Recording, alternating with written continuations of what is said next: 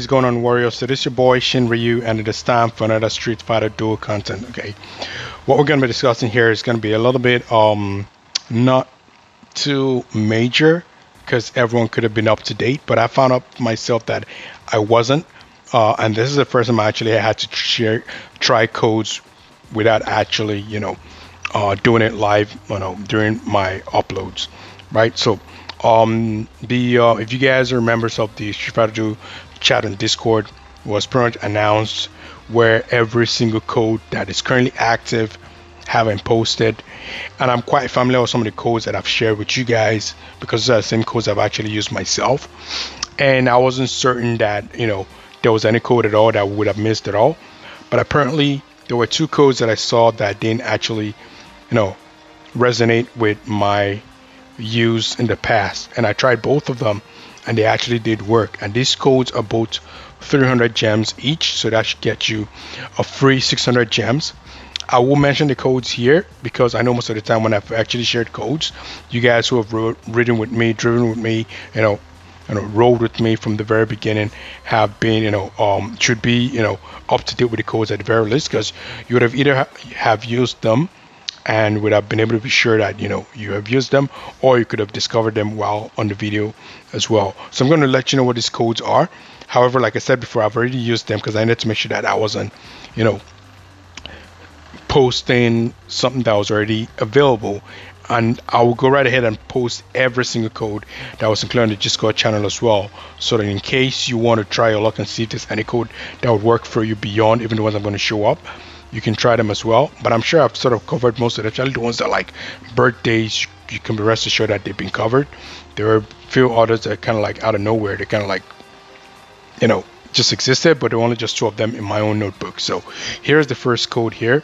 The first one is Feast Day. I don't know how I missed that at all.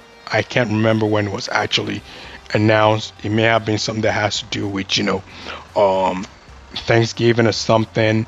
I can't remember. Maybe I wanted to post it and then time passed with my bad attitude and I sort of forgot to share it out. But this one would get you 300 gems. Like I said before, I already used this. It's not going to work for me anymore because I had to make sure I tested the code out. So, and don't forget, like I said, forget the fact that I'm actually typing it, you know, in caps where necessary.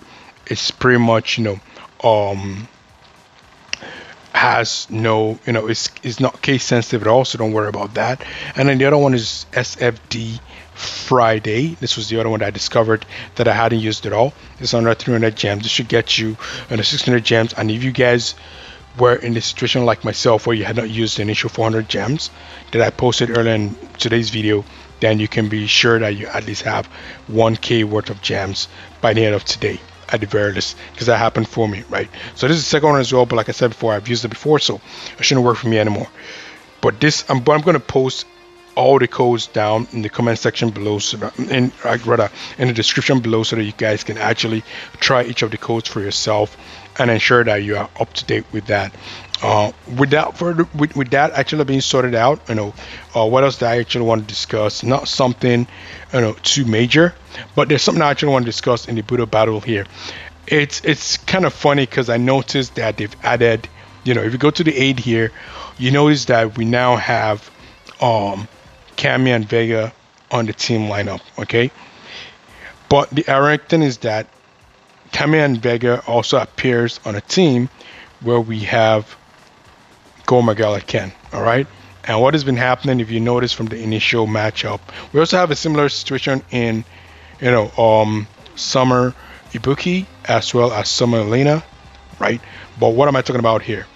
This is a case where we're looking at the possibility of not having your full super combo completed if the wrong lineup has been placed.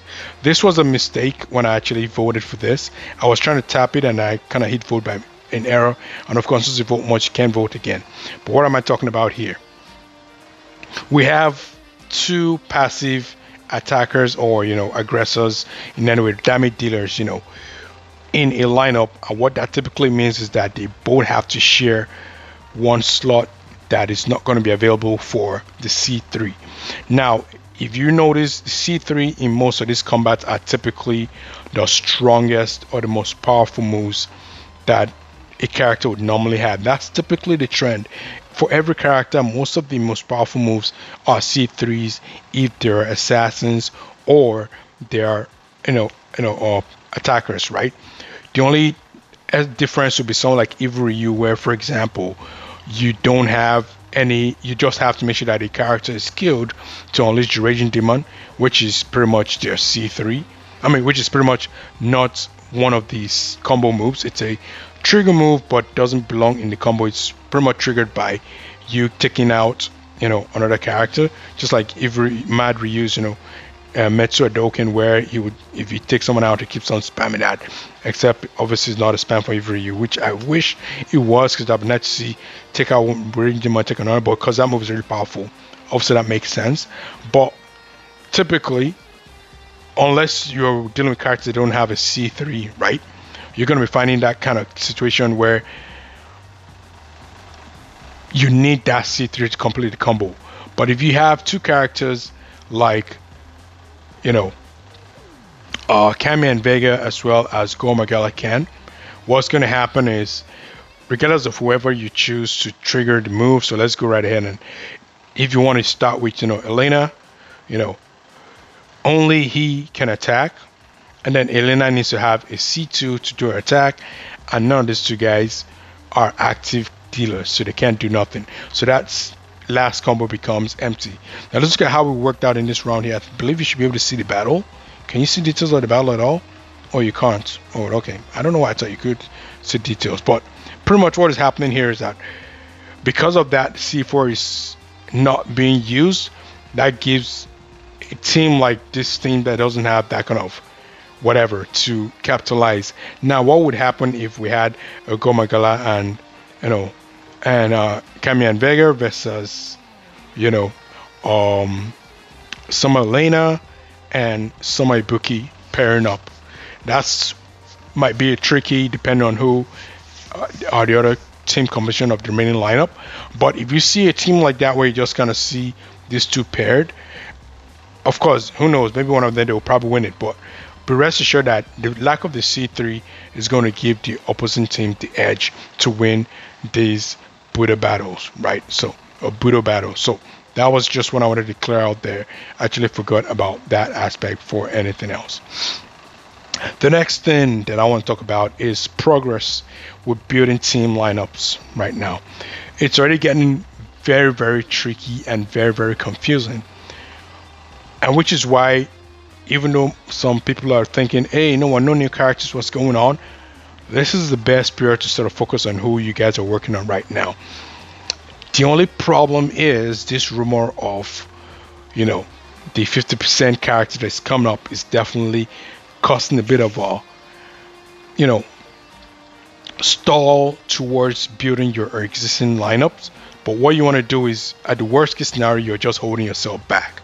Now, you know, if I look at the lineup that I'm trying to do it here, one character that I was always interested in in boosting up was Sagat. But the problem is with Sagat, um, I've had a higher priority that I had to pick between him and Sagat, and that person had been, you guys already know it, Summer Ibuki. This is a character that I'm sort of putting my mind on right now. Uh, and the only reason why she's not getting picked up from this chest here. Um where we where we at? Where's the chest? Over there. Yeah from this chest here because i'm sure she's an option. You can see over there.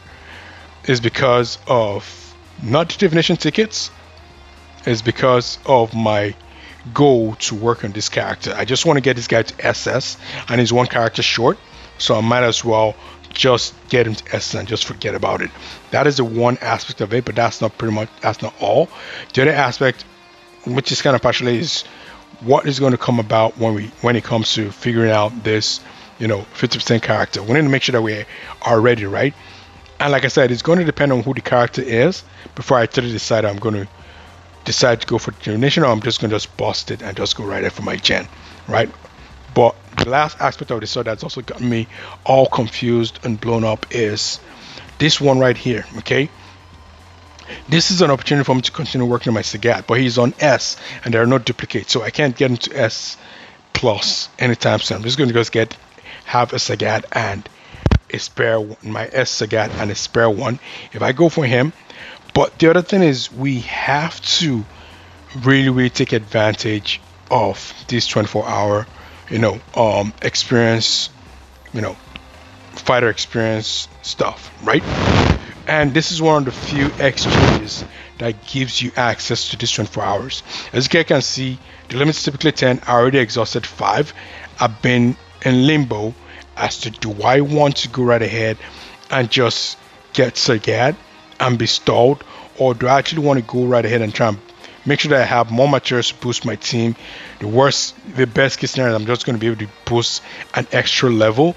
But would that extra level be enough for me to ignore Sagat? All right, that's where the complication is. It's definitely not. Already discussed. It's not going to be um um divine rose because I'm focusing on regular rose already, and I don't want to get. And I know that it's going to be a long time if I can actually get her, so I might as well not keep my hopes up by just having an extra copy that would want to tempt me to go further. I just have that A copy so far, so that's pretty much that. But we we have a chance to like you know get more of this. We have a chance to also go further and try and get more of this because this is really really scarce soul core. If you look at my Avery right now, because he's one person, I'm not giving anybody else soul core until he's absolutely maxed out, and we're only just on level seven this stuff is mighty expensive so um I don't know what I want to do in this case, but I want to know what you guys are doing already with regards to the exchange tent. Did you guys just get one of the special characters and then just move on with whatever balance that you have left? Did you guys go for order items, you know, that you felt was higher priority for you guys? Or did you guys do funny moves like go for one of these characters that I would always, always advise against? And maybe you had strong justification for doing those let me know in the comments below. Um, otherwise you know the primary reason for the video today was to let you guys know that there are more codes out there for you guys to try out. Um, I will once again put it in the comments for each guys to try every single one of the codes.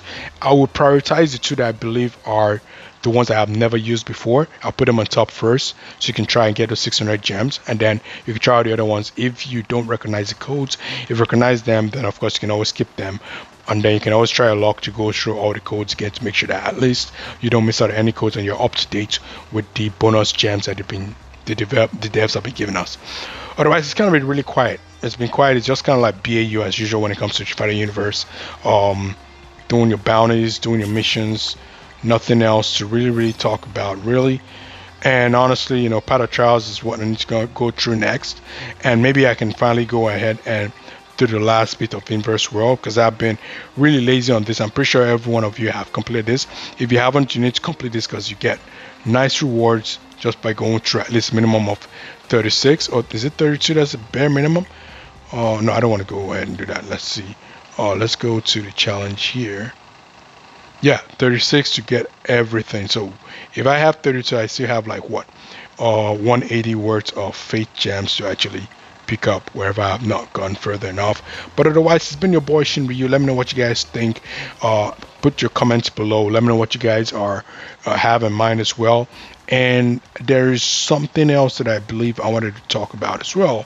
Uh, I'm trying to research the instance, this particular instance of the where is it over here? Is it called substitute? Okay, you gotta awaken first of all. Yeah, this substitute how this thing actually works. Because right now for some reason I'm not having any character coming up here. And if I really come into says oh, a certain number of duplicates can be expended to substitute for a certain static fighter the fighter to be expended must be of A grade downgrade downgrade must be first performed on the fighter's highest of grades fighters of highest higher grades, some blah blah whatever. Uh, but there's something. There's reason I'm actually looking at this is because this is supposed to be a way if you have like Master Inferno characters you want to work on getting a duplicate, you probably have to combine three, you know, to get one of those. But I have no idea how this stuff is working so far. So, say for example, I hit her. You see, you need three of this these gems to actually get her in but even if I try to go for someone as regular as say for example him, you need two which is typically normal. I, I need to know how it works because nothing is popping up here at the moment. Uh, but it's been unlocked. The substitute has been unlocked. For those who have been playing it for the longest time, you guys probably already have the substitute unlocked as well. Let me know what you guys think already. I'm still researching it. Once I have it to the absolute T, um, I'll release a video on this to sort of explain how this works properly. Uh, but of course, I'm going to need to have examples so that I can actually showcase it easily for you guys. Otherwise, thanks again for your patience, for tuning in. Uh, it's a boy Shin Make sure you like and subscribe if you haven't already. Uh, and I'll talk to you guys in the next one. Cheers.